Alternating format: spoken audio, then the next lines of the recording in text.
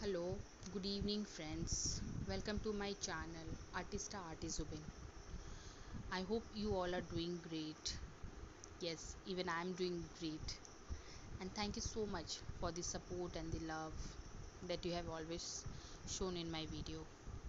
In my today's painting, I use gouache and fine liner pen. You know why? To create mandala art so i'll just give a brief you know like i just i'll just tell you what is mandala art. Most of you must be knowing but i just want to say something about mandala art. Mandala art is a geometric design that holds a great deal of symbolism in hindu and buddhist cultures. Mandala art is a sanskrit word for magic circle. People believe that mandala represents different aspects of the universe and are used as instruments of the meditations and symbols of prayer, most noticeably in China, Japan, and Tibet. Mandala art is also very popular like other famous paintings in history.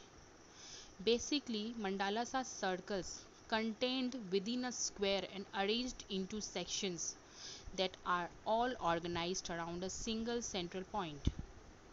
Mandalas are typically produced on paper or cloth and drawn on a surface with threads fashioned in bronze or built in stone. Mandalas hold symbolic and meditative meaning beyond their vibrant appearance.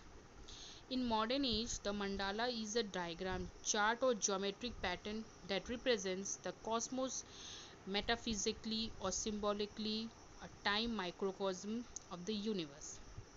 But it originally meant to represent the full model for the organization structure of life itself.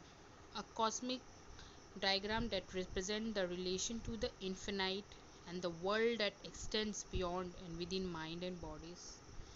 I am just giving you the like just i'm just telling you what it is.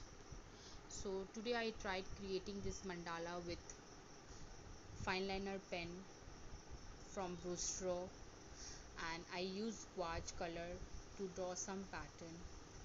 Friends, I hope you would love to see this art of mine. If you like my this painting, I mean today's painting, so please friend, show love by subscribing to my channel and share with your friends and family.